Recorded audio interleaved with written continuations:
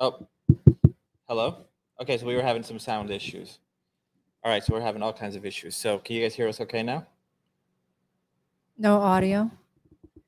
Uh, you're not on mute though. I'm not on mute. Okay, it's working now. Okay, sorry about that. That's weird. Uh, well, we didn't do anything. I guess it just Yeah, took time for the sound to come in. cool. Well, that's good. You missed a couple of bad uncle jokes, so it's probably better. So, uh, so yeah, welcome everybody. So I'm Miguel, and uh, that's Tran Ma. Hello. uh, co-host, and uh, we're talking about the making of our short film, "The Voice in the Hollow," which we are doing it li- literally live. So uh, every week we're just showing the progress of where we're at. Um, some weeks we have a lot of stuff to show. Some weeks we are completely defeated by some sort of problem. Um, so this week we're trying to find the, the correct lighting and um, has been focusing on that, like the main set, and I've been focusing on just getting like this edit in place. So I'll show you guys. If you guys saw like the last episode, uh, right now I'm only like in story mode, so I'll show you like some of this stuff here. So this is still super rough. So um, what you'll see here, like the anteater is completely temporary there's no chase in the beginning, but you'll you'll you'll get a, a feel of it. So the anteater animation is literally garbage. There's going to be all kinds of errors on the shoulders and uh, hands and whatever, but you'll you'll kind of get an idea. Mawindo yangu, ulichelewa tena.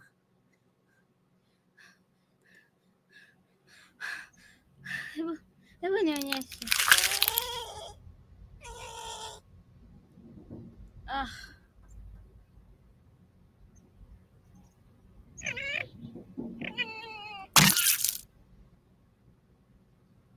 So this part is pretty much unchanged since last week.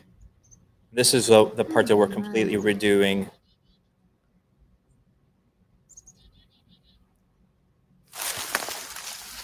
Nitakuwa nimeurusha kwa nguvu sana, siuoni Kweli.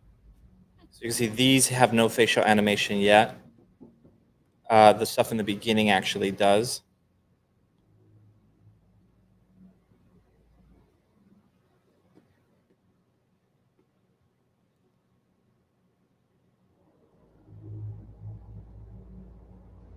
So all of this will be redone.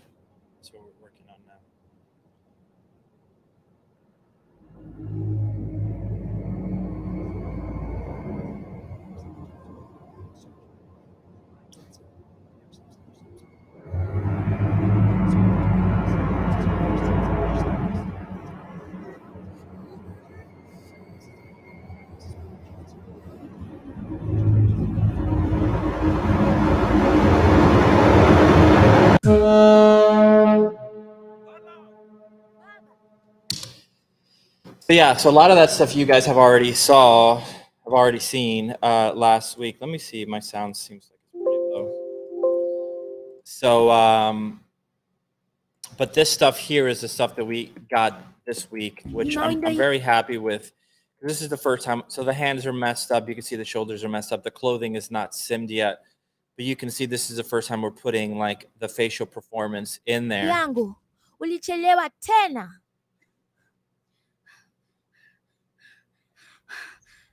hebu hebu nionyeshe.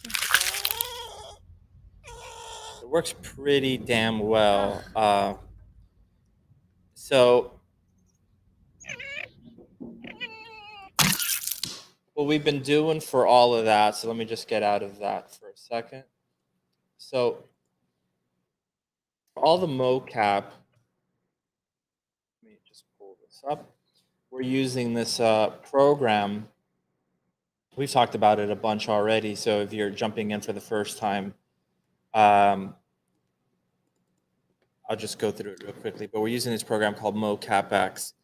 And basically, what it does is it allows you to use the Apple ARKit face stuff and just import it as a text file into Maya, and then it just does the animation uh, for you, right? So you have to record yourself doing the performance on your phone, And um, let me pull this up right now and show you. So pretty simple app. Well, I can't show it on my phone. I mean, that's stupid. I guess you could just see it there. But it, uh, you're just recording your face, and whatever you see, whatever you're saying, uh, gets transferred over to your character. So pretty awesome. Uh, you still have to do all the blend shapes for this, so it's it relies on 52, I believe, blend shapes that you have to create. So we have that in there, and once you have that going, all you basically have to do is you just come over here, go to the clip reader, load up the file. So I'm literally just coming over here, recording myself talking, saying whatever, emailing it to myself. It's a tiny file because it's a text file, and then just saving it, importing it. And then the only thing you do have to do is you have to play around with the, the clip frame offset. Okay, so here, for example, is a scene a little bit later in the story. So you could see this. The girls are hunting. One of them kills the anteater. Uh, she's obviously the superior hunter of the two. This one's all exhausted. This one is like a, a snooty little stuck up uh, brat. So while she's going to find her spear, she finds it broken up in the bush somewhere. So she doesn't want to admit that it's uh, that it's lost or that it's broken. So she just says like, "Oh, I threw. I must have thrown it too hard." and it got lost. And the sister, of course, doesn't believe it. So she says, like, sure. She's like mocking her. Again, there's no facial performance here. And then she hears the sound. She comes in here, and that's where we find this like evil cave, uh, which is the voice in the hollow, right? So all the sound here is temporary, but the idea of this is it's like a original, like ancient evil, kind of like the orb in uh, heavy metal uh, film, and uh, it calls her in uh, right when she's like getting seduced by this thing, she hears the trumpet, which is her father, and you can see this pulls her out of that trance, of course. So I don't have these next shots, and I'm probably just going to frame them right now. But it's her seeing her sister and her father kind of leaving together with the the kill that they caught, or that she caught, the anteater, and and uh, Koa, our main girl, kind of being left behind Baba?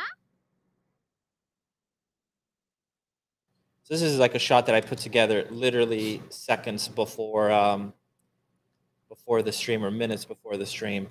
So I'll I'll go through this one right now. So I I have the clip and I'm, I might re-record this because I feel there's not enough sadness in in when she says Baba, which is uh, Papa in Swahili. Baba? I want there to be a little bit more uh, of a sadness that she's kind of being left behind there. So I might re-record it, but I'm getting the so this was all done with motion capture, the body as well. Baba? So I wanted to time it, so give it a second to sit before she puts her head down, and you, you could tell that she's kind of feeling uh, down about this whole thing. So come in here. I have a, I think this was like a 2,000 frame clip. So let me just save this out, and I'll just show you essentially my workflow for like let's let's do this shot here.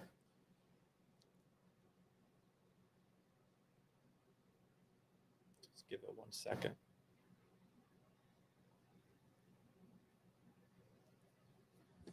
So, okay, so we'll just start with a, a completely new scene. Um, let's just let this uh, close up. Okay, so we have nothing. So I'll just open up the rig. I might already have it here. Uh, no, let's just open it. So I'll go into my rig folder. Uh, here are all the characters. So I'll just find Koa. There she is. Give it a second.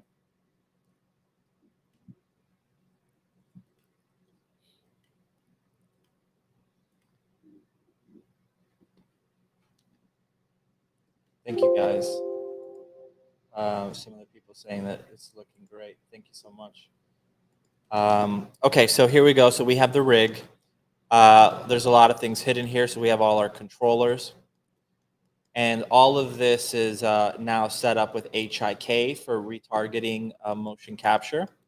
Okay, so I have this, and we have tons of motion capture. So if I come over here, I probably should have opened that first, but I'll come over here to my mocap folder. So that was recorded in session one, voice in, this used to be called voice in the well, so we changed it. Mocap session one, the character's name, sequence one. This is when she hears the dad. And I believe it's number 18. So I'm going to open up this FBX file.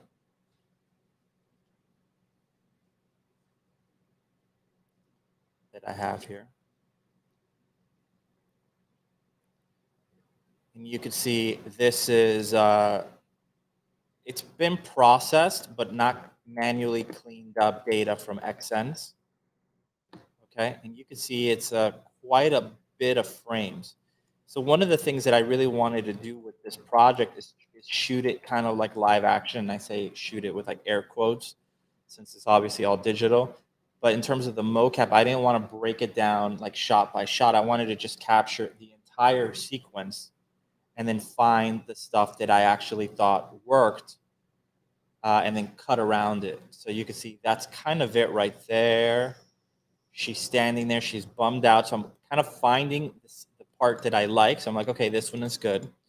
So now I need to get this ready to be uh, retargetable. So I'll just go to create character definition, select the skeleton. I have my preset here. Okay. Right. I have this exclamation mark because it's got a movement on it or pose. But as soon as it goes to T-pose, it's, it's good. And then I'll just save this out. So I'll just go File, Save Scene As, and I'll save it out as a Maya file. So there we go. Um, there it is, Koa, number one, here, Dad. And I keep the exact same name as the raw mocap data. That way it's easy for me to know what is what so I could track things back. So number 18, okay. I already did that, so I'm not going to do that again. But we'll just come back over here and open up um, the rig once more. Again, I should have done this in this order. Let's give it a second.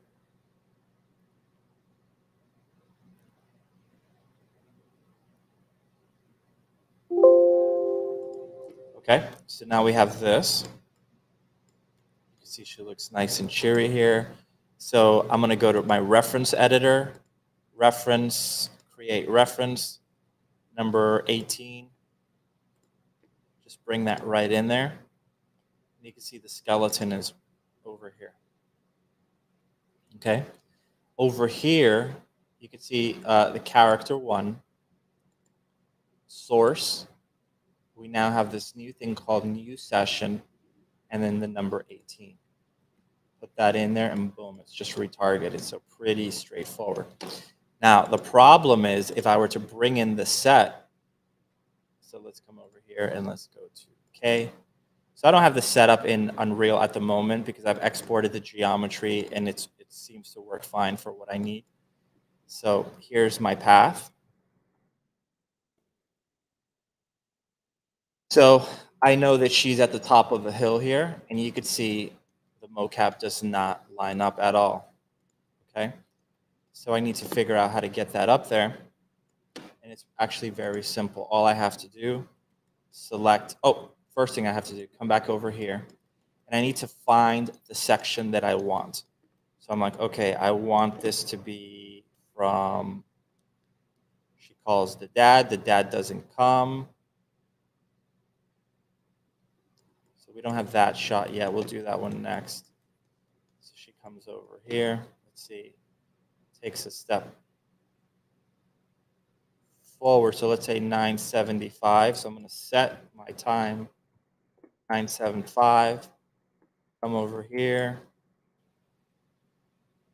Head down. And I want to cut it before she starts to walk. So 1103. Let's do it right there. Okay, come over here, bake, baked custom rig. That's going to grab all that mocap data and it's going to bake it onto the controls of this rig. So now, the, the reason why I, it was important for me to set this timeline here is you can see if I do this now, you can see that the keyframes are only set up wherever I had set that timeline, um, you know, length. So 975. So now I could actually just come over here to reference editor and just click that off. So I don't need that in my scene. I'll still keep it in there. It's not going to be loaded, but in case I'm ever like, crap, what file did I use for this? I'll know what it is. So there, there it is. Okay. And, but you can see again, she's nowhere near where we want her to be, which is not a problem. So I'll select my main uh, root control I'll go to my animation layers. Basically, all an animation layer is, is it's doing an additive motion on top of whatever is already there. So if I reposition the entire thing, it is not going to affect the main animation. It's just adding that uh, translation on top of everything, which is exactly what you want. And you have to tell it what objects you want to apply on the animation layer. So I'm going to select the main control or the root control, click over here, and you can see that now when I select this, it turns a little green dot there, letting me know that this object is now a part of that animation layer. So now I can just come over here, come over here, move this up to the top,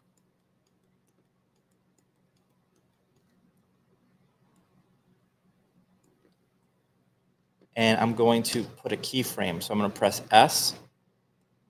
I'm going to move the timeline, and I can see, okay, it's still not the correct position, so I need to rotate her like this and bring her forward like this.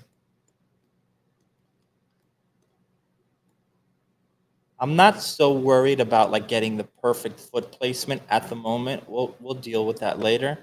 So that looks uh, better Move my timeline back, press S again, and now you can see that she is in the correct position and the animation is there. If I mute this, she's back down there. If I turn that back up, she's back up on top. So I'm going to set this, call this root underscore control and lock it. So I don't want to accidentally uh, adjust this unless I want to, and then I'll have to unlock it. Okay? So that's great. So now let's create a camera. So we'll go to create um, camera, camera. Okay, and we'll just go to panel, look through selected, and we'll come over here. So I want to see what I'm actually going to see in my frame. So camera settings, resolution gate. So what are we trying to convey with this shot? She's being left behind right? So let's come over here. She's being left behind by her father and her shitty sister. So let's just come over here. We'll add a keyframe here. And at the end of the sequence here, I'm going to push the camera back. I'm leaving her behind as well. So I'm going to make her feel like she's just completely alone. Push this. Let's move this forward and the camera movement has to have a reason, right? You don't just move the camera to show to say like, look how awesome I'm animating my cameras.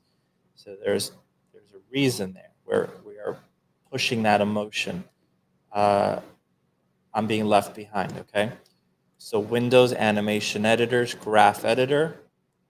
I'm going to come over here, and you can see that I have like a ramp on this like an ease in and ease out. I don't want that.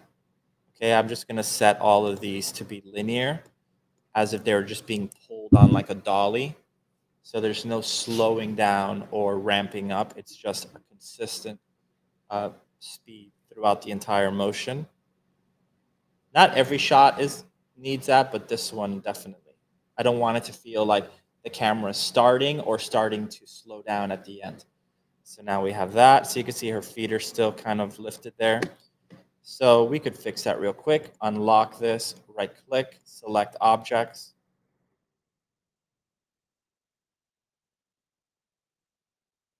Oh, I have my curves hidden.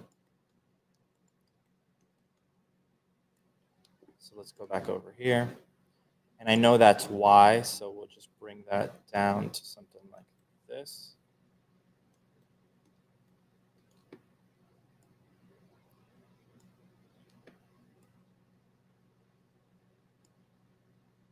And that's good. Again, there's there's a little bit of interpenetration there, but at this moment, that those sort of perfect little things, I'm not so worried about. I'm just worried about the overall story. Okay, so let's take a look at that. And you feel that she's sad, and that's the important thing. So now let's get uh, let's get the performance in there. So I'll open up uh. I would show you what the interface looks like, but uh, if I did, you would, uh, I don't think you would see anything. Yeah, I don't think you would see it. So, um, yeah, all you'll see is a camera and uh, a big deer head. So you would see that. so you just see the light. But anyway, that's the interface. So you could see, you would just press record here and whatever. It looks terrible there. So I just recommend you look at the interface. But what I'll do is I'm, I'm not going to act in front of you guys since I've already done it. But I would just do the performance. The funny thing is, I originally thought about we had cast. Uh, we have uh, all our actresses did the voices are in Tanzania. They're all African actresses, but we didn't. Uh, we weren't able to get them to come to Los Angeles to do the motion capture of the the body because we just couldn't afford it. We would have loved to, but uh, so we had a, a friend of ours act it out, and I was gonna bring her back in to do the facial stuff, and I kind of realized that I kind of know the dialogue better than anybody, so I just recorded all the face stuff myself. So when you look at all of this stuff here, uh, all of this stuff is basically just me. Ulichelewa tena. So that's my my Oscar winning performance. Hebu hebu nionyeshe. Ah,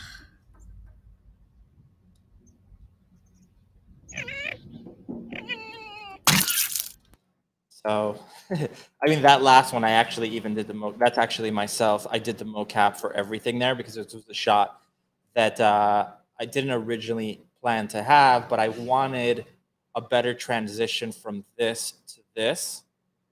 And if I cut between the two of them right now, let me let me just show you because it's actually kind of uh, cool to see. So if I grab that, let me just put it over here. and I got this one here.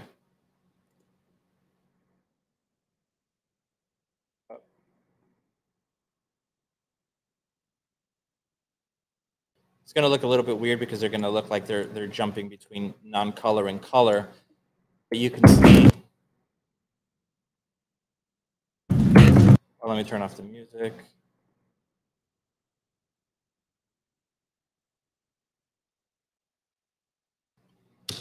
there was all kinds of problems there. Like it looks like she just left the frame, but now the sister was nowhere to be found. And of course, I could have reframed this, and I actually think we're throwing this shot away. But there was just it felt like they, I needed more time in between there for her to get further away, and I also wanted to establish that the sister is kind of a nasty person.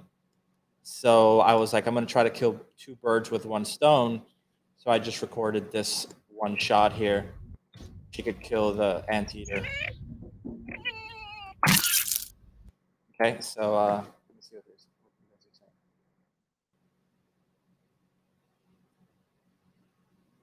Are there any good ways to start learning filmmaking with Unreal, like from the beginning? I mean, you're you're watching it. We're literally making it from the beginning. So, um, I don't know if you're gonna get a place that goes through the very very beginning the way we are. I mean, we're showing you all the stuff that's even boring. So, it's not going to get more from the beginning than this. So, um, all right, so I have this now. You can see there's no facial performance at all. So when I'm doing the face stuff, I'll create another camera just to kind of zoom into her face.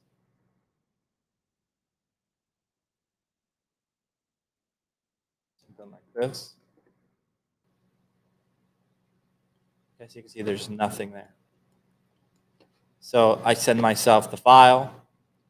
Just come over here to MoCapX, clip reader. Come over here. I go to my shots. So I just save the file out here. It's called Baba, mocap, mocapx. There it is. Bring it in there. You're not going to see the animation at all. Sometimes you may get lucky and you will, but here you can see her eyes closed. But that's about it. So you might wonder why would that be happening? The reason is we're starting the shot at 975, a frame 975, and um, sequence obviously was not captured at frame 975. It starts at zero, so you have to offset it so that you get it to start in the right place. You can see she's saying Baba right there. I want her to say it right around here before her head comes down.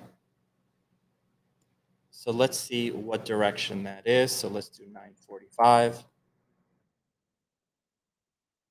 Okay, so we're getting closer. So I want it right around there. So let's do 935.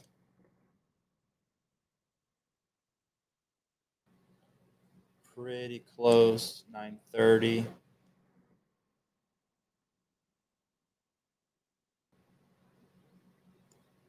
Okay, let's do 925.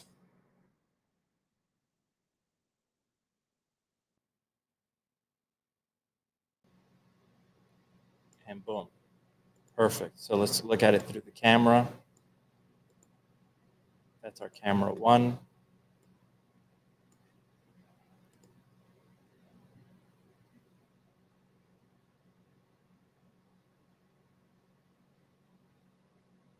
Okay.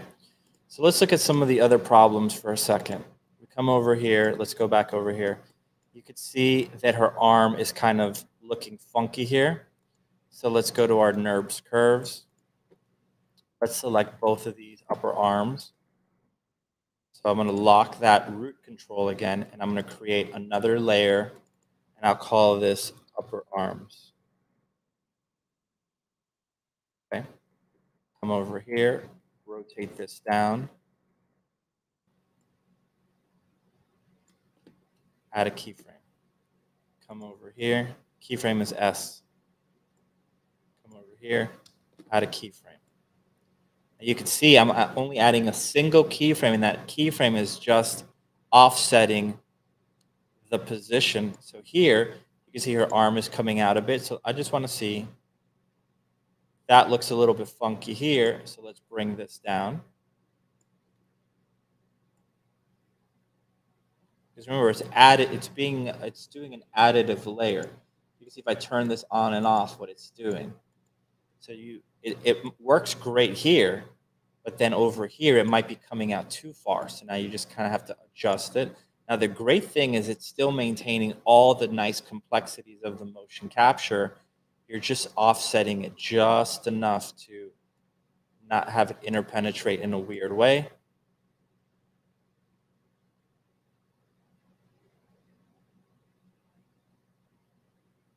And there we go. Okay.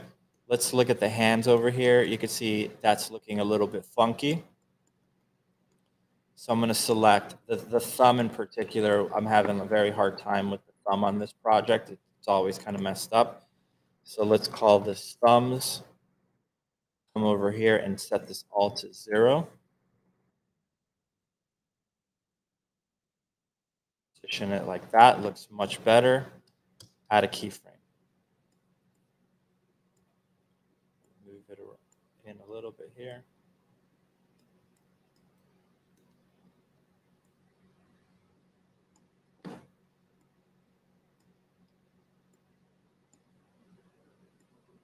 So it's still maintaining the mocap data, but it's fixing the position of it. So let's grab this guy over here. You can see same thing.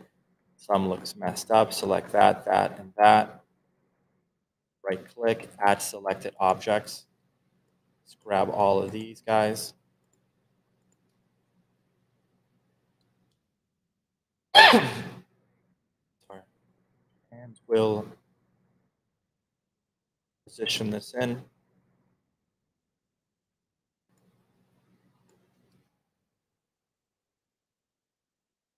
We'll add a keyframe.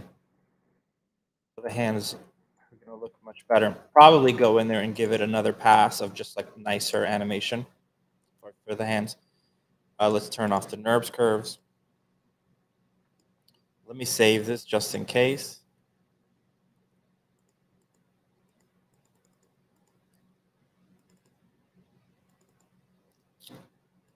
This is Baba. So Maya cleanup, and I'll just call this no mim demo. I wouldn't be surprised if this actually looks better than the the one I ended up doing because I'm putting in more time.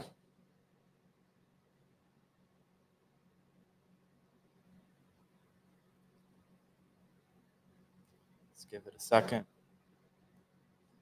So right now, I know that the position of this character is going to line up with Unreal. I could completely do live link, and I probably will uh, soon. But right now, I'm only focused on the story component, so I don't care as long as the, the overall position is correct. I'm fine with it. So once I'm ready to see if it works, I'll just come over here, play blast, save to file. Let's go to my K. So again, the shots. And I'll just call this Gnomon. And I'll just play it.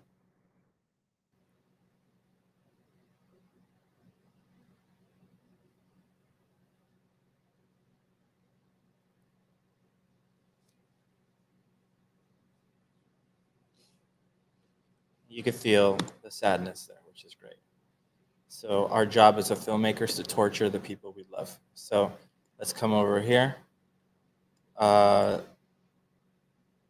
so this is the one I already did, but let's bring in a new one, the one we just did. So let's go to import. There it is. Bring it in here.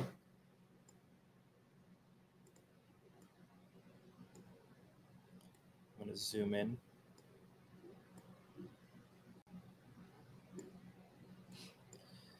So you can see right now, since I'm only dealing with the editing, uh, I might have to scale some of this stuff up. Just fine, I'll do that.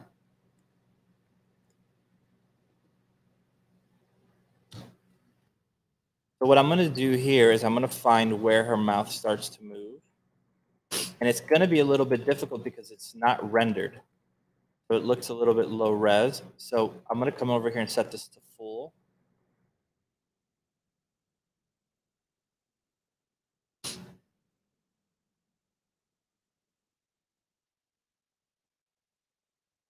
Right there. Her mouth starts moving there. So what I'll do is I'll just cut it right there. I could put a marker there, but this is like a, a just a lazy man's marker. And later I could just come over here and go to join through edits and it'll get rid of that cut. For now, it's just an easy way for me to see this. Okay. So now I could come over here and I open up the clips that I have of the actress. Baba. I'm going to hear the different versions. Ah. I could already tell after working on this enough that this is when she initially calls him, which is a shot we haven't done yet. Baba, angalia. She wants him to see the cave. He ignores it. Baba. So I kind of like that one. Let's listen to the other one. Baba. That one sounds a little too upbeat. Let's come over here. Baba. That one doesn't work at all. Baba. That one kind of works. So let's try that one. So we'll come over here, put an in point. that was an out point, an in point here. And now I'm just going to drag the audio down here. And I'm pulling this down so I can see the waveforms here.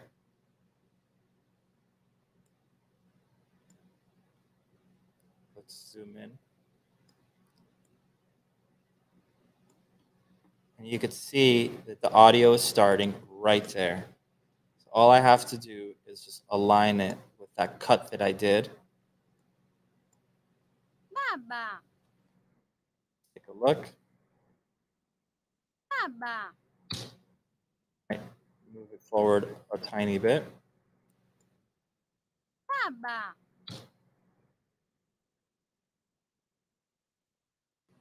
Let's move it. Let's see what happens. Baba. It's too much. Baba. Looks good. So now, going through edits, I don't need to have that split there anymore. I want these to be linked in case I accidentally move it. I'm like, oh crap, and I have to redo the position.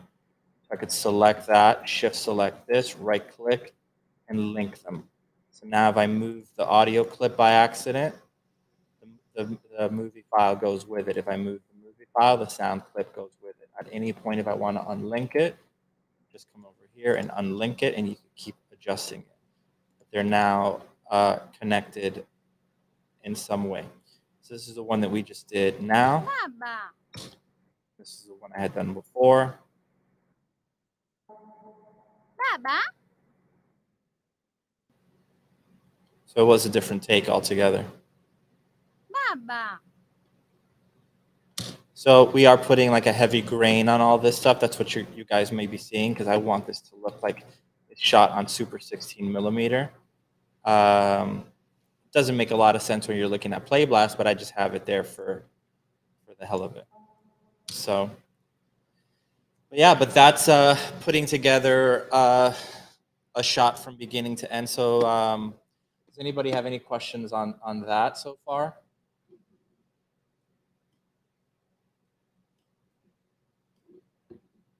you guys uh, have a question, should ask. That way we don't feel like we're talking into the void. So, um, let me see if there's anything. Nope. Okay. So what else? So okay, so now we need another shot. We need. So I have this one here. This is another one that I just did. So one thing that I like this next shot, I don't know what the hell I'm gonna do at all. So she's getting she's in the trance that's broken by the by the father. She's pulled out of the trance. Camera moves much faster than pretty much any other shot in the entire thing. It jerks back because she's coming back into consciousness. Right? And now what is she seeing? So I need to show the father and the sister so, do I want to do a POV or do I want to show them already down there? I think I'm going to do a POV. So, let's come back over here. It would be a shot like this. I make I may make her walk into frame like this, or if I don't have the animation for it, the exact movement that I want, I could just do this trick where you just basically dolly back, and then at the end of the shot, she's in it. So it kind of suggests that she walked up to that point um, in the meantime while the camera wasn't looking at her. So it would be something like that, her POV of her father and the sister. Now, I don't know if this is the right thing or if I should do it like this and have them both together and her in the distance feeling small and insignificant. But I know I want her to call him, so I, I may do this, then cut to her calling him, then cut to them walking away, and then cut back to the one that we just had, which was her feeling uh, rejected. So, all right, so what are we going to do here? So let's try that first. So. Okay, so let's just go to file. Um, which one do I have here? So I'm going to open, I'll import one of the rigs. I'll import the father. Actually, let me find the, the father shot first. So I'm going to save this. I actually have no idea what part of the sequence I'm going to use. Let's let's find it. So I'll save all this. The father rig still has a couple of issues, but um, we'll go around that. So okay, so we'll go to a new scene.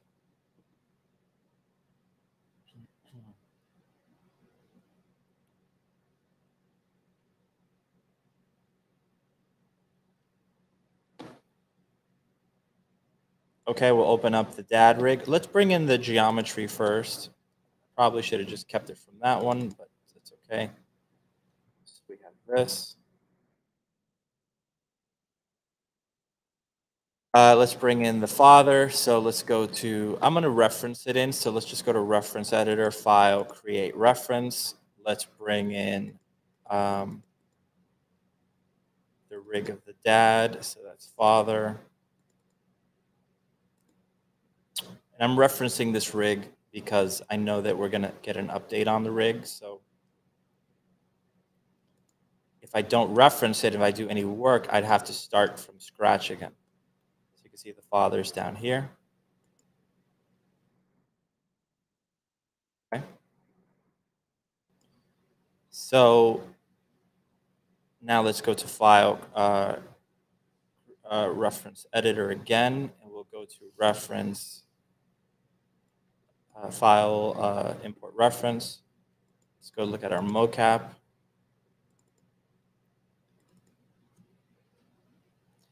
So all the father stuff I recorded this week. So I put it in a folder. So it's probably going to be this one here. So go to our HIK setup.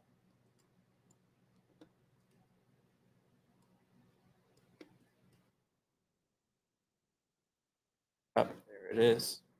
So this is the one of him blowing the horn, so it might not be the right one. Yeah, it's not the right one. So let's uh, go back to our reference editor, come back over here, reference, replace reference. Let's do 17 MA.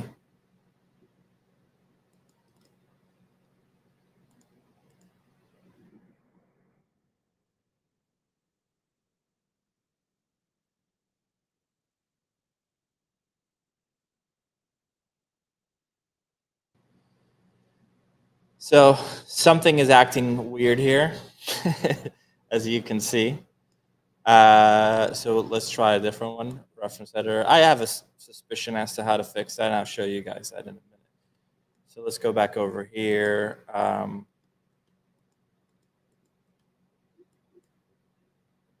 so that was 17, let's do 18.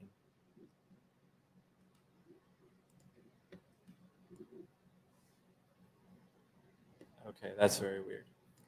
Okay, so when that happens, what do we do?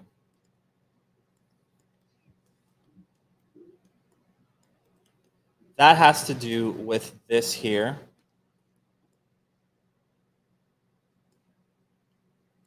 For some reason, uh, the linking here has gotten a little bit weird. So what I'll do, um, let's just uh, create a new, let's just open up a new scene. I'm gonna just uh, not reference it. I wanna see if there's something broken in the reference or if there's actually something wrong with the file. So we'll go to uh, open again. See, it's a lot of troubleshooting. That's the thing when you're doing this live, it's like that, but this is this is literally our life. It's this sort of stuff 24 hours a day. So let's go to Father.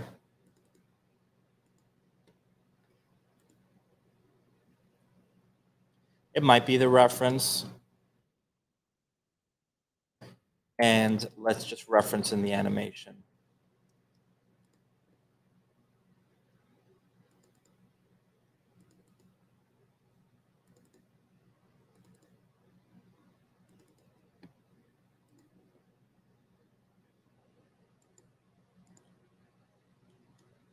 Okay, so the arm is still messed up. Uh, it's super weird. All right, so let's go to frame zero. Wow, how trippy. It's just completely bananas. What does it look like? Doing Looks like ballet. What's weird is that this here should be, uh, it should be going to a T pose and it's not. So what we have to do, it seems like um, we may have to re-link some of this stuff. It's very odd. It does this once in a while. So all I'll do is this. I'm just select this guy here, right click on this again, assign selected. Because it seems like it's the arms that are getting messed up. Over here, right click, assign selected.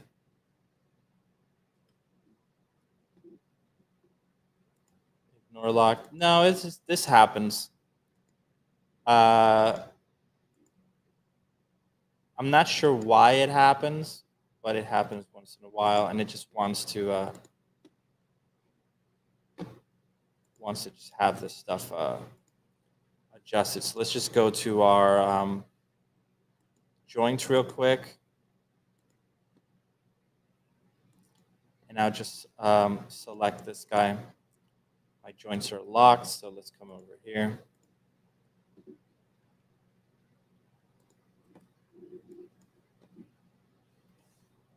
Sign selected, come over here. Sign selected, come over here.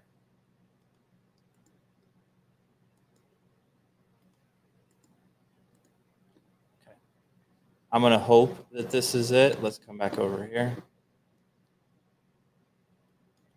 And it's not looking good.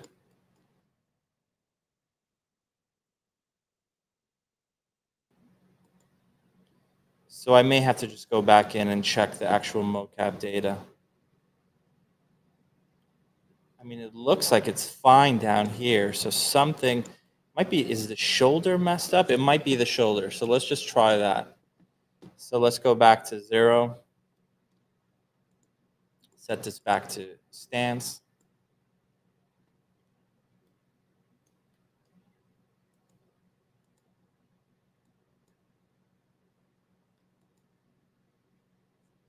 Let's go back to our joints. Uh, let's go to the NURBS curves.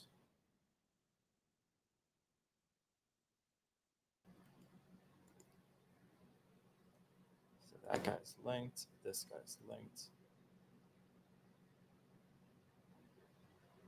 Uh, possibly. The, the, the thing is, all the mocap was recorded at the same time, and the one with the horn is working perfectly.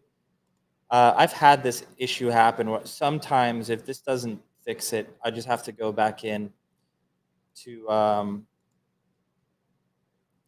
the mocap program and just re-export it, and then it just fixes it right away. It's a weird thing.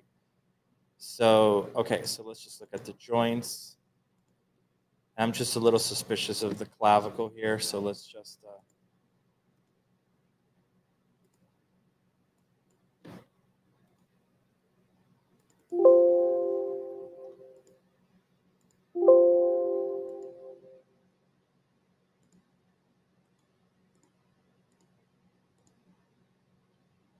just do this. This happens so much that that's why I'm, kind of calm about it. Um, if this doesn't happen, then I'll I'll pass it to. Tra- yeah, it looks like he's still dancing. So all right. so So- so uh, let's just look at one more thing here. So now I'm gonna have to come in here and look at the actual mocap data.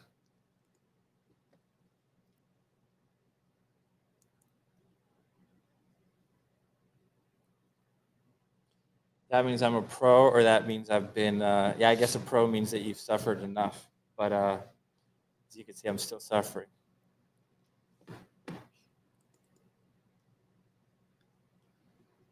Yeah, no, this is what it is. It's a, it's a Disney uh, dance number. Where is that? There it is. Um, and you should answer some of these questions. Uh, Uh, let's see. Here's a question. I can't imagine retopologizing every scope for this project. So, what instances do you manually retopo? pretty much all of the time. Um, right? well, for characters, we have to absolutely. Yeah. So, but even then, I um, probably took shortcuts with that too. Um, anything that we have to custom make has to have some kind of topology. If it's an environment, we can use um, like quad remesh, or you can try ZBrush, um, Z remesh for environmental stuff, but characters have to be manually done so that they don't have messed up topology. Like if you just let uh, Z remesh do it or uh, quad remesh, you can end, end up with spirals. And even if you don't end up with spirals, it's just not really controlled. And you do have to control the character topology. Um, if you go back a couple of videos ago where we had Chris Bosjanik on, he was our facial guy. Like he was totally giving me crap for my my face topology, um, and he's he's right. It's the stuff was just rushed. And there you go.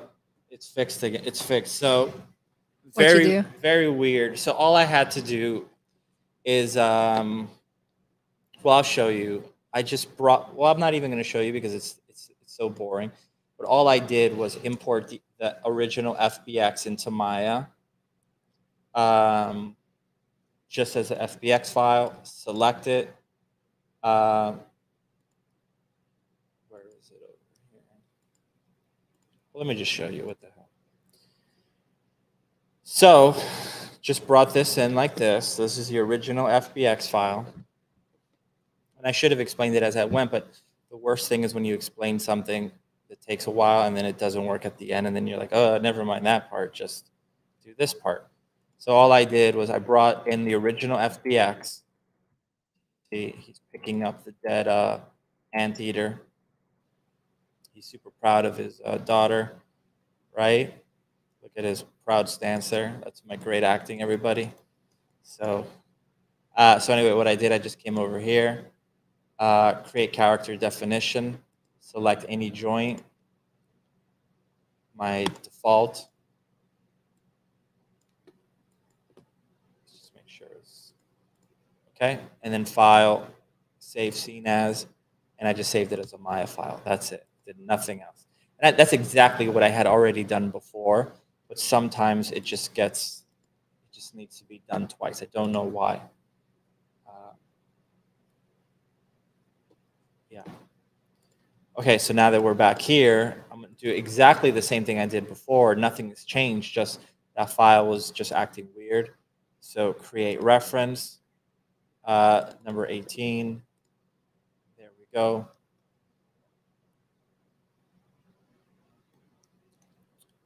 Over here. There's my animation. So I don't want him to start picking up the anteater yet, but I do like him walking up proudly. So let's bring in the set. Well, let me just find the frame, like kind of a framing first. So I'm going to hide uh, my NURBS curves for a moment. I'm going to hide. Let's go to. Um, let's just hide the joints for now. So hide uh, joints, and I'll turn off uh, wireframe unshaded. And for now, let's just put on a camera setting resolution gate so I could start thinking in terms of shots. So I know that the anteater would probably be on the ground. I want to showcase the dad because this is the first time we're seeing him fully. So I don't want to crop him out too much.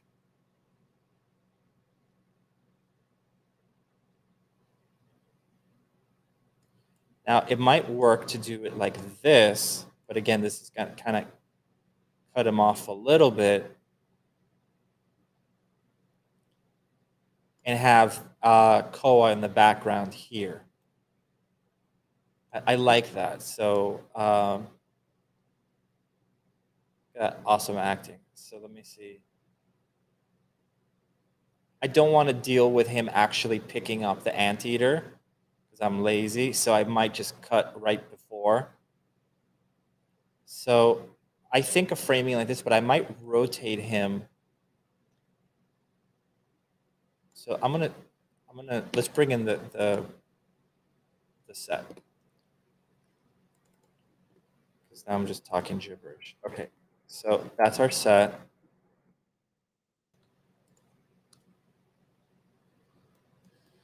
So I know that happens around here.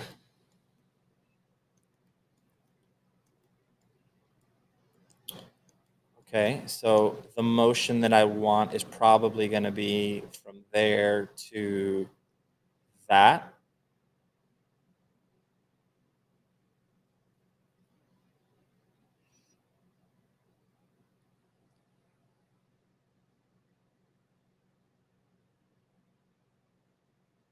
Maybe 230. So let's set this to 230.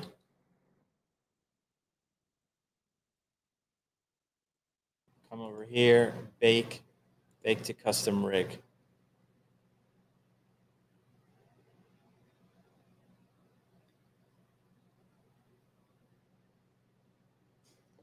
Okay, great. Now I don't want to be carrying around all that stuff from the reference, so let's just hide it. Doesn't have to calculate it. Your outliner looks clean now. Still, it's still there if you need it, so if you decide, oh, I need an extra 10 frames, it's there.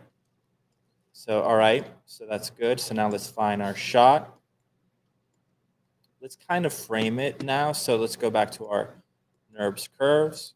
So we already know how to do this. Select this guy, animation. This is our control, uh, master control. So now we could find a new position for him. So Koa is going to be over here.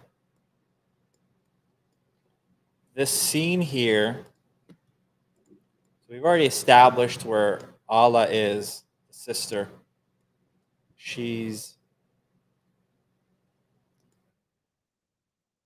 over here. So exact placement, we'll probably have to figure that out in Unreal, but for now I'm going to guesstimate that it's around here.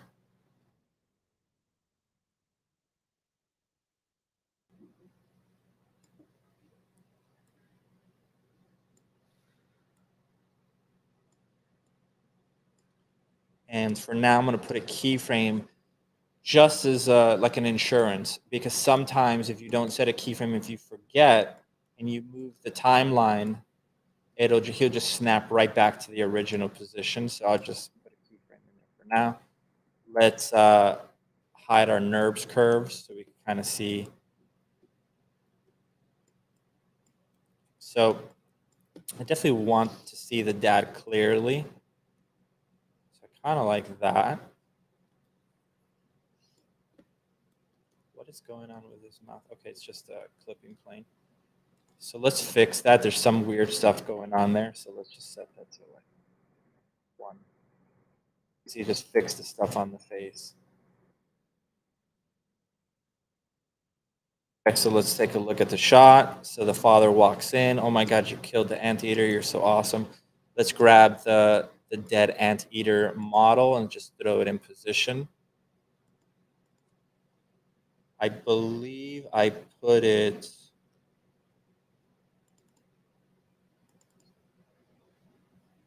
Oh crap. That was not what I want.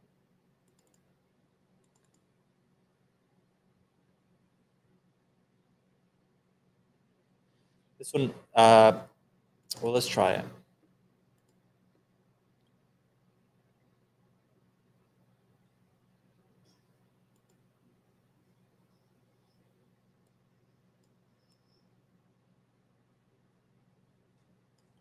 Okay, so something just got messed up.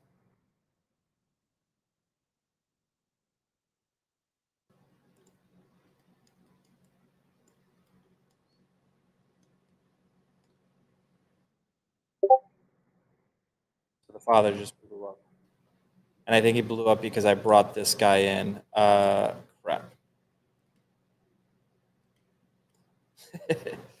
All right, so that's not good.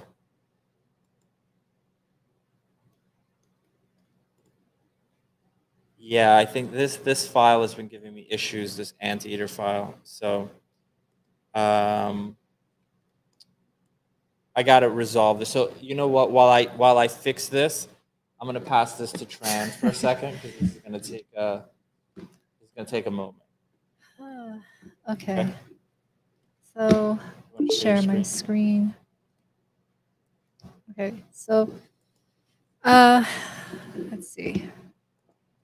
So this week was very frustrating because okay, so uh, Unreal official version came out, um, and I think you have to. Well, it seemed like you just have to update, right? So you're pretty much um, forced to update, and which is good, but there's a lot of there's always a lot of stuff problems whenever you update. So, blah. so basically, every time we've updated, uh, you know, you lose like a day at least trying to just fix stuff because um, pretty much all your scenes just look like crap. so, like all the lighting is broken, um, all this stuff happens. So, uh, the first thing I think I think is interesting, and I, I don't want to break my scene to do this, and it will take a very long time to load. Uh, is I noticed here when I opened it after updating, uh, my lighting was broken, my materials were trash, and my scene looked really terrible. So what was happening, and I think this is interesting for anyone using this, and it just updated, so this could be a problem that's happening with um, anybody. So here, let's say I have this tree here, and you can see it's pretty high poly. Um, but if you come up here, I go into show, and I select nanite fallback. Um, you can see there's really low mesh, right? Um, and this mesh is basically how my entire scene looked. So once I loaded everything up, um, everything was extremely low. Um, anything that was nanite looked like um, I don't know, like really early CG with just low polygons. So, uh, trying, you know, to figure out like one step at a time what was happening. Um, basically, um, as I was looking around trying to troubleshoot it, I realized um, the problem is completely with nanite, right? So any mesh that wasn't nanite, like our characters are not nanite, they look totally fine. Uh, but most of my scene is nanite, and they all looked really low polygon. Now, if um, it took me a while to figure this out, I don't know what I was doing to figure it out, but I basically realized, okay, we're actually looking at the nanite fallback mesh, and then just trying to Google that, and then realizing basically the fallback mesh is just a mesh uh, when nanite is not supported, right? So um, you could do a couple things to try to fix this, like you can actually, if you look at these values here, where this is uh, fallback triangle percentage and fallback relative error. Um, this value here, a value of one, is controls what controls the decimation of the mesh, right? So my original mesh looks like this. And when it imports in and converts it to nanite, it creates this mesh here. Um, and this value controls how low the polygons are. If you look over the numbers here, which see if I can move my screen, um, you have all this data here that tells you how many triangles that is. Um, that's, I realize that's probably not a good idea because uh, the fallback mesh is used for other things like for lighting and all that stuff. So this came down to just being a DirectX problem, right? So in the newer, if you go to project settings here, just type RHI, uh, you just have to set your default RHI to DirectX 12. So DirectX 11 is no longer supported. So anyone who's using DirectX 11 for Unreal 5, uh, you'll find everything will look like a fallback mesh, which is you know like this, right? So you have to change it back to 12. Um, so that took a little bit to figure out. And then the other problem that I had, um, actually, you know, I'll just show you a couple frames because I'm going to break this. so let's just do this um, before I break it. So here's one frame, um, just a couple frames. So I've been working on this environment, which is the environment where you've seen Miguel doing his previous um, work and just trying to make it better. Yeah, go back to that that shot for a second. So that would be like where she's standing calling the dad, right? It- Yeah. It's like up on top of that little So this Bridge. this spot here is basically the entrance into um, the cave pit. So uh, and you can see it gets foggy um, for that reason, and just you know a few other angles there. So um, all right, now that I showed you those things, uh, the other thing that I encounter, and I'm just typing to the console here. And this is what it looks like every single time it loads. Uh, can't get this to go. Okay, let's do that again. So every time I load, and this happens after I convert it to a DirectX 12, and you can see it in um, Miguel's scene. Is I basically should have not seeing it. Let's force it again. The black. Uh, Yeah. I mean, I could just show it on. no, but it's really easy. It always shows up all the time. It doesn't. It won't work when there's a camera recording you. No, I think I just put the wrong code in. No.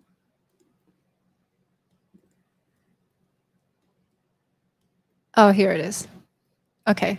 So if I move over my scene here, um, you can see I have all this massive splotchiness, right? So if you switch over to DirectX 12, um, Miguel and I don't have the same exact graphics card. We both updated. Um, I've noticed other people having these problems, and we had this problem. You know, Miguel has this problem on his stuff. Um, these look more washed out because my scene is brighter, uh, but you'll get all this like weird, like blotchiness. Um, this is basically a problem that you can fix. It has to do with ray tracing. So uh, ray tracing shadows. Right now, by I have I have ray tracing shadows for two-sided geometry enabled. Um, let me just type this into the chat.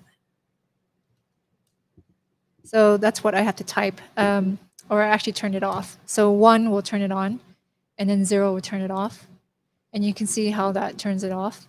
Um, now the other thing that happens when you turn it off is you'll get little light leaks, right? So you can see here in this geometry, we're never going to get, get close to this, but maybe I should just pull up a pen.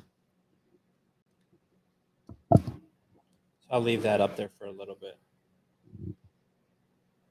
Okay, let's write this. Um, so we have all these little light leaks. So whenever I have ray tracing on for both sides, it actually gets rid of that. Right, so if I enable it now by typing that command in the console and pressing one at the end, or should go away. Okay. It's fine in the light leak here. okay, let's do that again. Okay, this looks like a light leak for sure. Uh, this also happens on single side geometry. So a lot of the Megascan stuff is single side geometry, um, meaning they're not closed on all sides, right? So if you look at this side, like we can just see right through it. I've tried to block it with a cube. Um,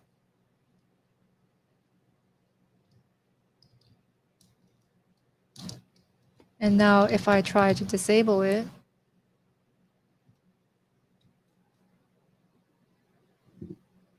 okay. I don't know what I'm doing. Oh, okay, I did the wrong command. Sorry, guys. Tran is feeling down today. Yeah, I'm feeling very overwhelmed. I'm feeling frustrated.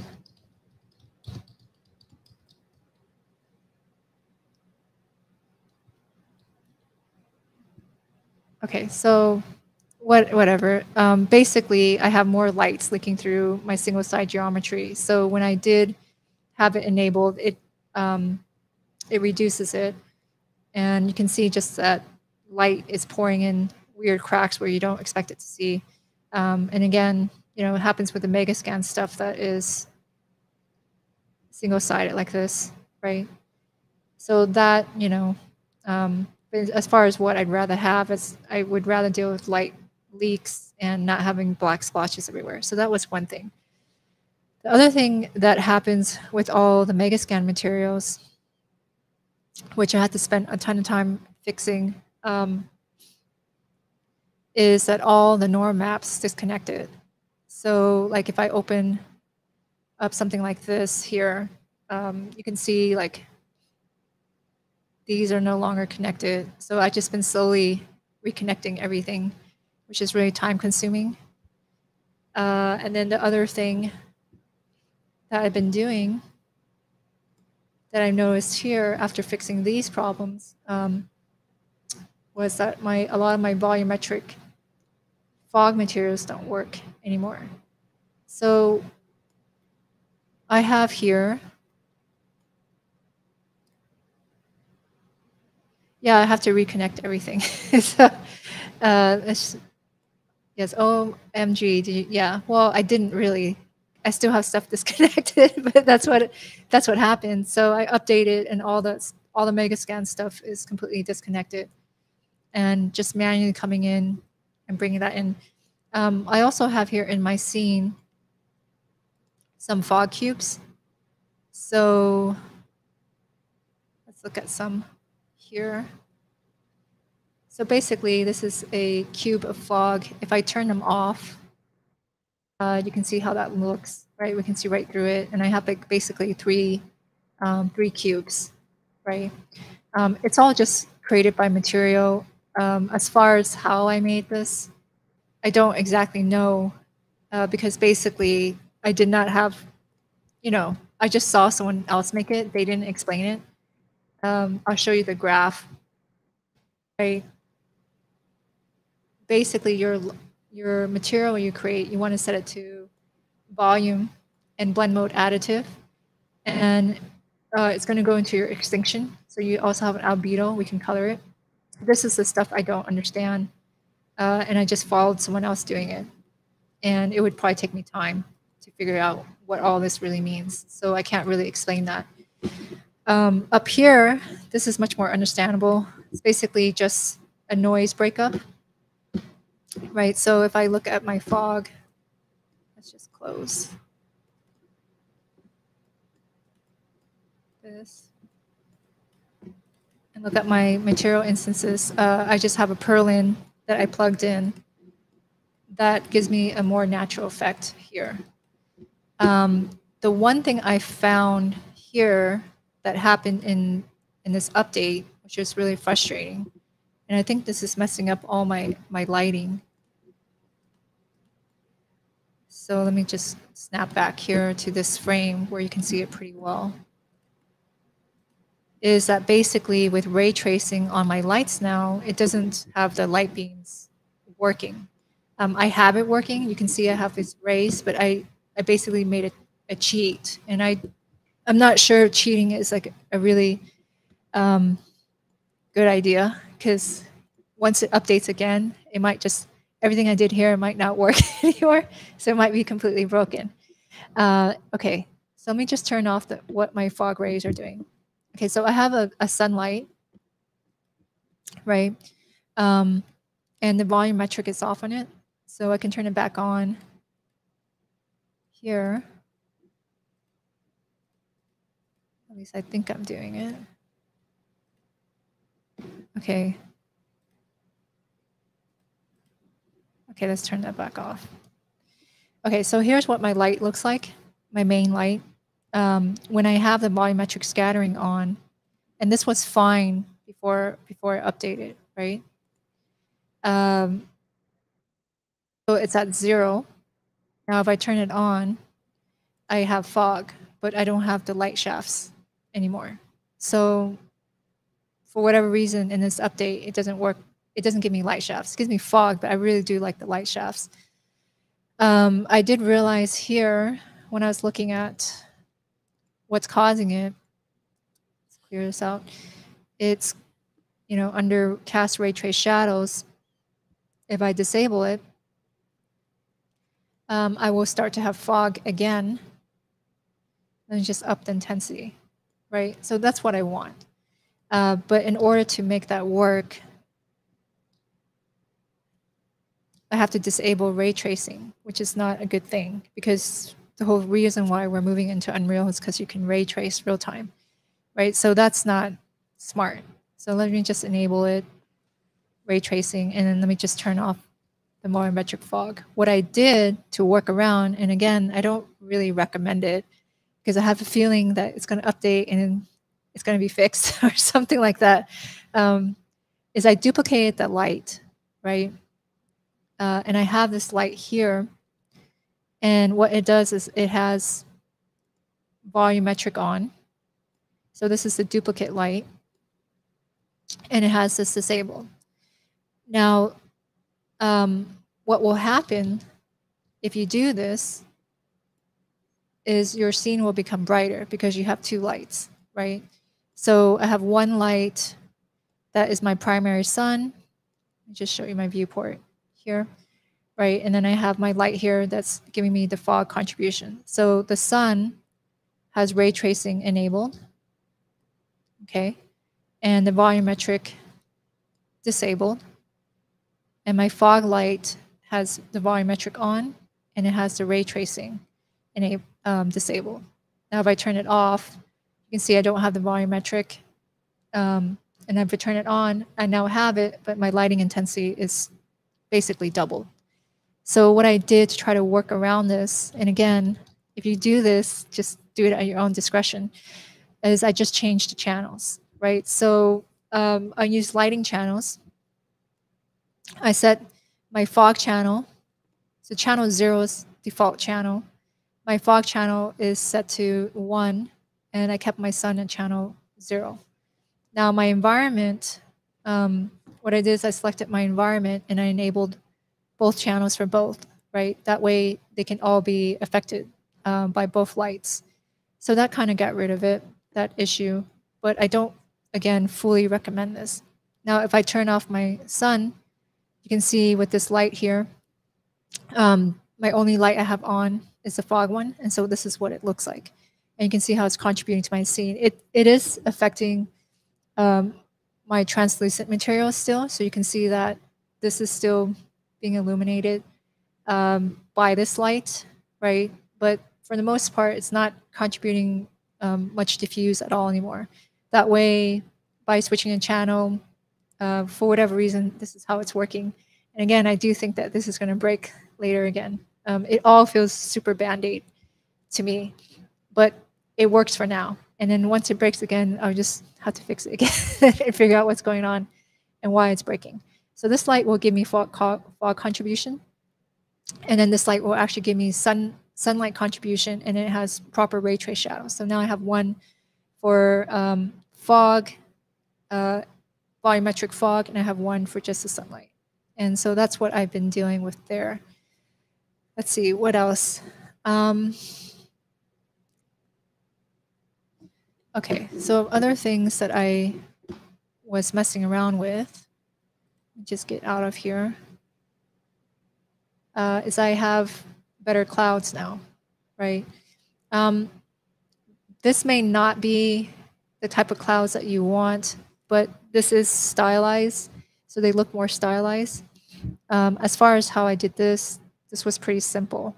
So if you select your volumetric cloud, over here, um, on by default, it's pretty pretty ugly looking, but you can actually use materials, right? If you go under your engine and your plugins, and you search all the way down to volumetric content, sky, materials. Um, there's all kinds of materials that you can actually plug in into here. So I basically just tried this out. Now to expose that, you have to make sure to turn on show plugin content. Otherwise, you won't actually see um, this folder right here, right? Once you have that turned on, you can find this under volumetric content, sky, materials, and then just give them a shot. As far as what I did, then as I just dropped it in here. And I just messed with the materials here until I got what I wanted. Um, I don't think this is all, when you look at this, it's like a huge list. Basically, I just play with it until I got kind of these um, better looking clouds. The other thing you need to do is you have to go into your plugins. Right, and under plugins, enable volumetrics so that you actually have um, are able to access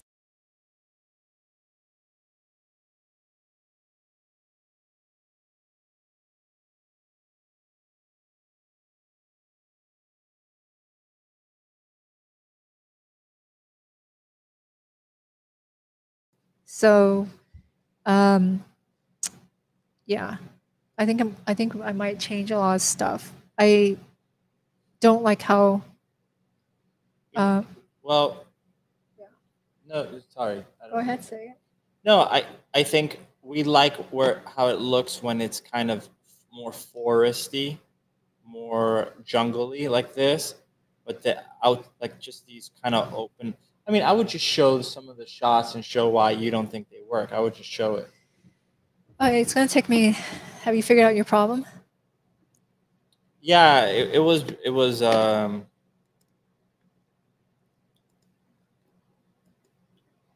it was that stupid uh, anteater when I bring it in it blew everything up. But um yeah. Um, well, I have it loaded. Okay, so this is um, previs or the sequence. Let me just change my camera here. So you guys saw these shots already just on um And let me just turn on my on my, letterbox. on my play blast. Okay, so here's one shot. Uh, I'll just play it. It's gonna have weird, some weird transitions. Okay, so I don't like this shot. Like I don't like the lighting.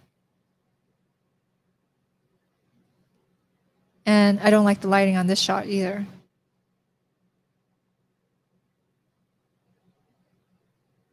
right?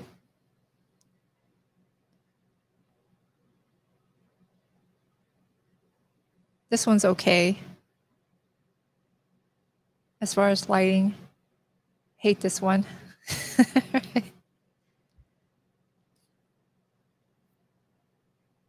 uh, and I, I've been trying to light it, trying to figure out how to improve it. Um, I think we just have to reevaluate. This one's cool. So basically, all the reverse shots kind of suck right? Like this one's not very cool either. Um, okay, but that's it. So like, it's a little bit frustrating. I think the thing is, um, a couple of things. We we have one one universal lighting, and and that is lighting everything, right? And um, so therefore, the lighting is not really art directed shot by shot. Um, we could rotate the lights for every shot, but I think we should have something a little bit better to work with. Um, the other thing is that the background environment, you come back here, as it goes in the distance, it's really getting pastel. So I think um, that's not really the look that we want to have. And I am reading some of these concepts, or it's not concepts, these comments I'm just flubbing my words today. Uh, but you know, thanks, Dosa Kim. You're saying super nice things. Makes me feel a little bit better. right? You guys can, can tell that she sounds down today. Yeah, I am really frustrated with this. Um, the gobo. All right, I'll talk about that. So here's a question here.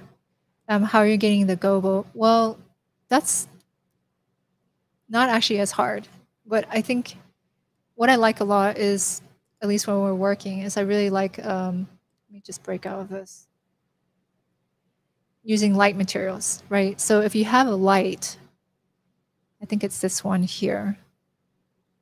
Yes. So if you look under here, um, light material function, you can just attach um, a material. As far as how you make that, let me just show you. Uh, let me put it in a folder that I can find again. Give me one second. Okay, so I have this folder of light functions. Now, when you want to make one, um, let's just load this one up here. Um, this is my instance of it but I'll make a new one. So create a new material. Uh, I'll just call this like demo. And then we'll make a instance of that just to have that right away. And let's double click on this one. What you want to do is you want to take your material here and you can see by default material domain is surface opaque and default lit. Um, you want to change that in your master to just be a light function right here. Okay. So if I come over here, I'm going to set this to light function. And the only thing now becomes available is the emissive color, right? Um, you can basically put whatever you want in there. So I just have a Perlin. As, as far as where I got the Perlin, I just got it out of Substance. So I just exported their Perlin because they have really um, amazing procedure noises. But I I also export a few more. If I can dig this up, dig that up. Let's just search this one here under fog material. I have a Perlin here. So it's pretty simple. Like if I just went in here under this demo and I just dragged this demo master material, just drag this in. I could just connect this and this would already work as a global. And you don't have to do anything more complicated than this unless you want to do um, certain controls, right? Um, let's turn that off here. Now, this could be fine, but there's a couple of things I would like to do. So this is a tileable material, and I would like to be able to tile it and be able to control the tiles, right? So I have um, this more complicated setup here, but I think I should just go through it. Sorry, I'm not really prepped. Let's just go over here.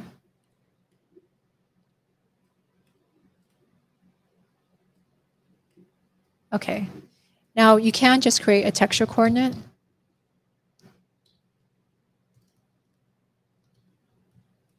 Like this, right? And you can just plug this in here.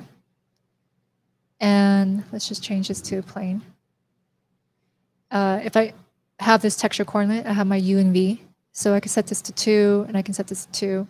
Um, and you can see it's tiled two times.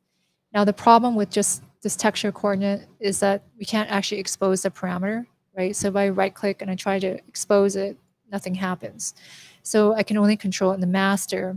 Um, it would be good if I can do this inside um, of the instance material. So what I did is I just created multiply. And I just plug this in here, right? Um, now I have two values. I have my u and my v that I want to control, right? So it's not just one. So I need an append node.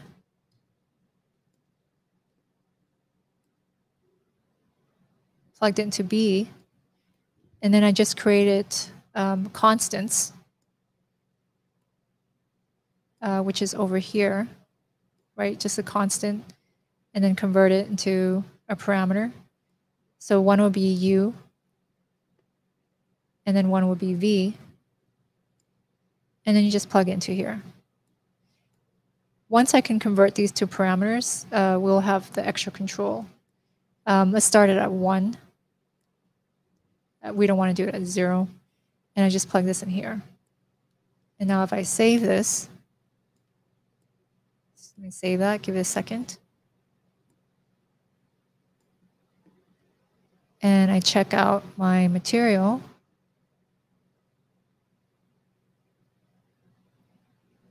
which is under my light functions.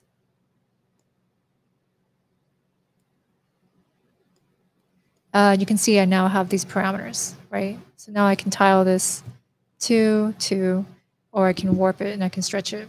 Um, the other thing that I wanted to have was just a little bit control to contrast this, right? Um, you can use multiply. I decided to use um, cheap contrast.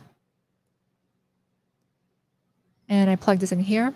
Now I need a, something to control this. So create another constant.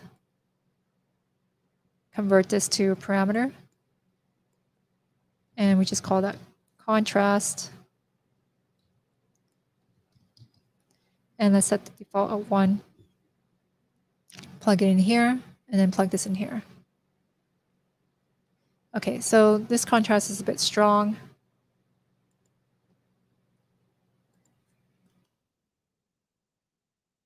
Um, uh, we can set it to zero at no contrast.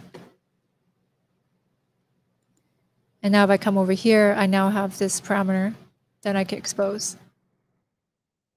And I just set that up. Um, and I can have a few of these depending on the, you know, the lighting. But that's how I got basically this look. Um, I think that works, right? So now that she's walking through, uh, because there's light coming in through the side, you have that feeling like this kind of splotchiness as if she's walking through like the forest or something. Um, and use this for the fire in the other scene, so it has a flickering effect. Um, it's still the same thing. It all it is again is just material. Um, set it to light function, and you can plug it into any any light that you want, and then you'll have that kind of effect. Let's see. Let's look at the comments. Uh, yeah, I think the light leak is a good thing. Um, Gobo. Uh, we there is a lot of light bouncing on the character's face. I don't think that's the problem. She doesn't look good yet because she doesn't have any expressions, so she just has a dead face. So that definitely affects it. But there's a lot of light actually bouncing back. Um, she does have a darker skin complexion, and I think, you know, it's kind of different when you're lighting a darker complexion versus like a lighter complexion.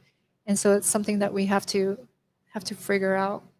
So um, we might go for something more moody. I'm not not sure. I have to really, you know, Miguel and I have to just figure that out. So together. so yeah. So that's where that's at here. Uh, is there any other questions? So one, if you update, you can't use DirectX 11. You have to do 12. If you change it to 12, you're probably going to have messed up ray trace shadows. Um, so you can fix that.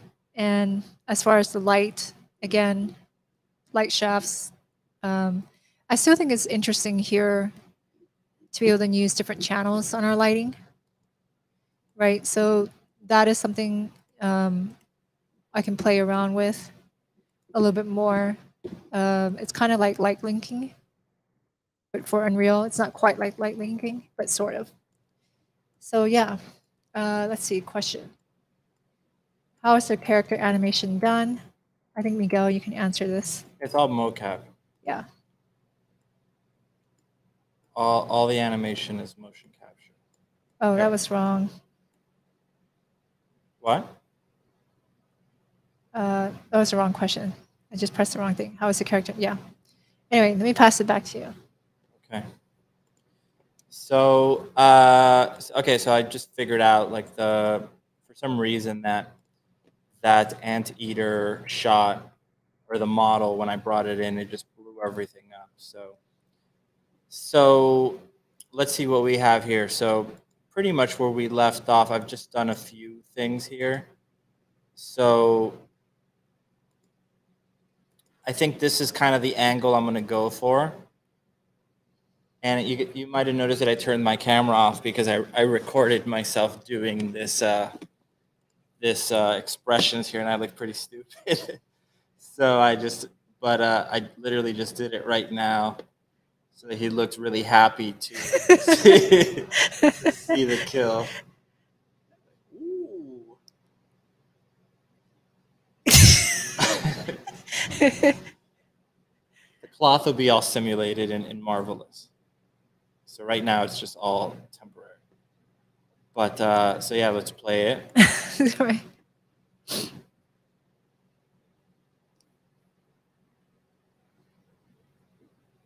He'll pick it up, throw it on his back, and off they go.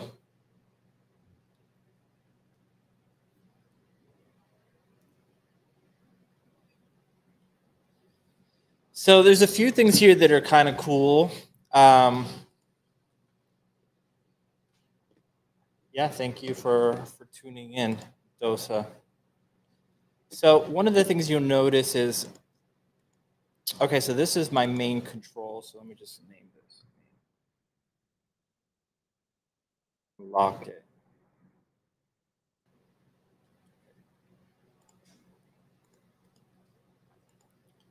Okay, so let's say you have an animation that looks like this and, and you, you've done some work on it and all of a sudden your supervisor says, um, you know, it looks cool, but I want the camera to be pushed out more, right? So you could try changing the focal length or whatever, or, but it might not be exactly what you want, but you've gotten the timing kind of perfect. So one of the things that is really cool, I mean, we, I've been talking about animation layers a lot, is let's say I have these, these keys already put in place for this camera. I could just come over here and create another uh, animation layer. And let's just call this camera, for example. And you can see when I go view select camera, this green dot appears because when I created it, by pressing this button, it automatically added the selected objects. Yeah, the anteater, rest in peace. So the cool thing here is we have all this motion already in place, right? We like it, but we just want to push it back just a little bit, or maybe push in a little bit. But we don't want to redo all of that animation because we kind of like it. It looks good. So by putting this on a layer, I could just come over here and zoom out just a little bit or, or as much as you want really. Add a keyframe. And now you can see all the animation stays exactly the same, except I'm now further back. And the minute I want to commit to it, all I have to do, right click, select objects, press bake, It'll bake that into the original animation of the camera. But now I have to delete this because it, it, you can see it pushed it back even more because now it's doubling up. So now I come over here and delete this. And now the camera is exactly how I wanted it to, to, be, to be. So uh, pushed it back too far there, but you could see pretty cool. So I don't actually want to keep that. Um, so I'm gonna undo that. But just definitely use the animation layers because they're pretty powerful. Uh, let's see, we have some spam here.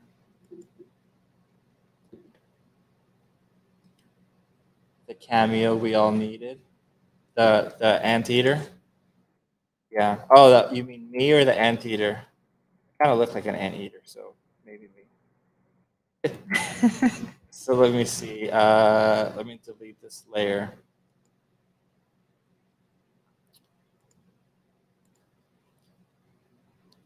But yeah, so that's it. So now we have him coming in, and he'll be picking up the anteater, and um, he'll be taking him away. So that will be in here somewhere. So right after this, goes the horn.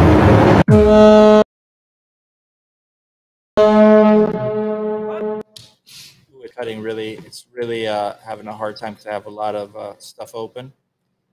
But yeah, so that's it. So we'll continue this stuff for those that, that missed the stuff in the beginning.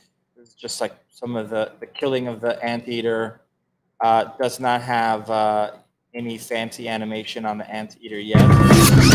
Devin said he'll mawindo yangu, he'll do the mocap. ulichelewa tena. The anteater. Yeah. Hebu hebu nionyeshe. Ah, So she'll have the spear there. That's how the anteater dies. so yeah, Devin, uh, as long as uh, Ricardo could stab you with a spear for to have true method acting, uh, you could you could be the mocap uh, anteater. So, uh, but yeah, that's it, guys, for today. So I hope you guys got something out of this. We probably I'm probably going to keep this. This is probably going to be in the final movie. This this shot here. I just gotta put Allah in here somewhere. Um, there was one question we missed. Uh, how are you doing the cloth on the characters? Oh, I answered that. Oh, you did. Yeah. Okay. Uh, yeah. That's it. So, So we'll be back next week. So yeah. So we'll be back next week, guys. Thank you so much. Uh, it's good to see. Oh, look who's here, Davin. I know. Hey, Davin. Davin is. So, all right, guys. So, um, thank you so much, and uh, we'll see you guys uh, next week. Take care. Bye bye. Does anybody have any questions, by the way, before we zone? Before we not zone out. Before we log off. Have comments. yeah, they're saying Tran, uh, take your time to dis- de-stress. Yes, Yes. Tran is. Uh, I'm stressed. yeah. Yeah. Well, she- it's you know, just she feels that her set looks terrible, so she's really bummed out. So, yeah. yeah. all right, Yeah. guys, I'll talk to you. Well, we'll talk next week. Yeah. Right. Bye. take care. See you guys. So, hold on, let me press this. Oh yeah, and if you guys want to see, uh, follow any of our work, it is over here on Instagram. We post some stuff there as well. And that's it. We'll see you guys uh, later.